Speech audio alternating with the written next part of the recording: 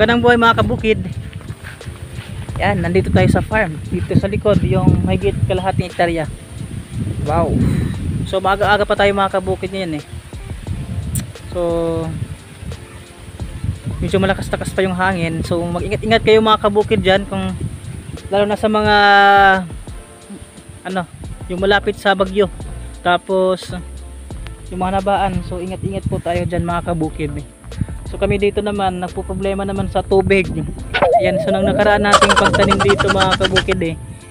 Sobra-sobra naman sa tubig. Ngayon, kulang, halos walang tubig. Yan. Pero kahit pa paano mga kabukid, nakaka-survive yung ating mga pananim dahil sa ginagamit nating mga produkto. So thank you LJ. So ngayon, ah, mag-spray tayo. Kasama natin si Kabukid Roster. Nandun pa siya. Ayun ho mga kabukid dahil yung pananim natin mahigit 15 days na. Yan, na-check ko rin mga kabukid, eh, mayroong part doon na naninilaw. So, sigurado mga sting borer yan or ano, mga insekto yan mga kabukid. So, bago pa yan kumalat, so agapan na natin. So, matin, malupit yung kudos panggamit dyan. Yan, kudos insecticide, tatak LJ. So, maraming maraming salamat LJ sa produkto na ito.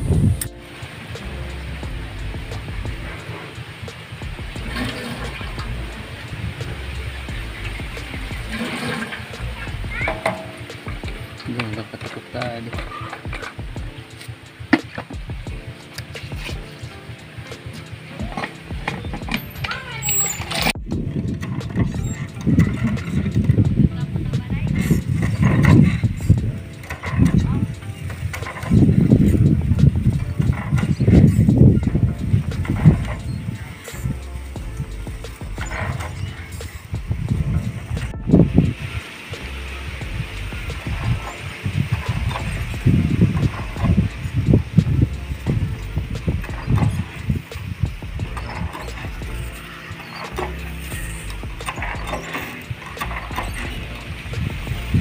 So yan mga kabukid, ito yung ano, kudos. Yan, tatak algae yan, insecticide mga kabukid. Ayan, pag 15 to 20 days na mga kabukid, ayan. So, pwede na tayo gumamit nito. So, gumamit kami ng tag dalawang cup sa isang sprayer lang mga kabukid.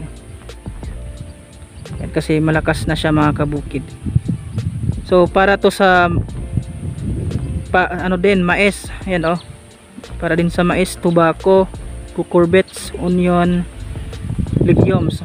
So, sa mga pananim natin yan na mga kabukid, iba-ibang mga insekto yung sumisira dyan. Ayan o, yan ang mga target ni legumes. So, sa palay natin mga kabukid, so, ah, susug, papatayin niya mga kabukid yung mga stem borer. Ayan, army worm, leaf hopper, case worm, tapos plant topper. Ayan, lagot kayo lagot kayo kay kudos.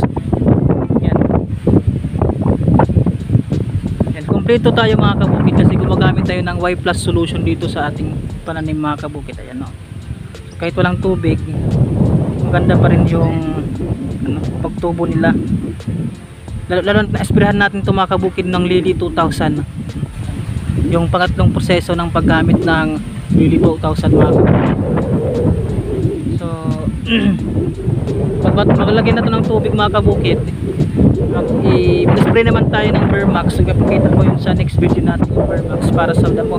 Kaya kung nagpo-problema kayo mga kabukid sa damo-damo sa palayan ayan malalaman nyo dito mga kabukid. Abang-abang kayo mga kabukid next week.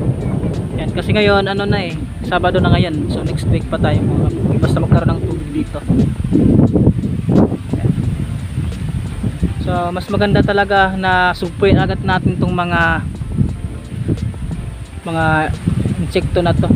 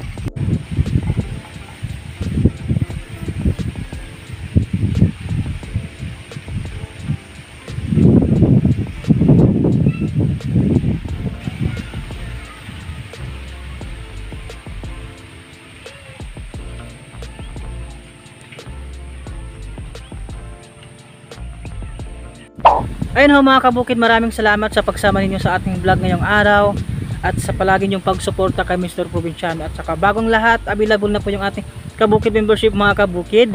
Just click the join button para makapili kayo ng membership na gusto nyo pong i-avail at suportahan nyo rin po mga kabukid pala yung ating shop. Ayan, so step shop, kung meron kayong gustong bilhin na pampaganda, pampagwapo, pampasexy, pang, pampahealthy at saka meron tayong babag, bagong papasok na product yung perfume. So ang maganda dito mga kabukid ay own brand. So nagpa-branding tayo mga kabukid.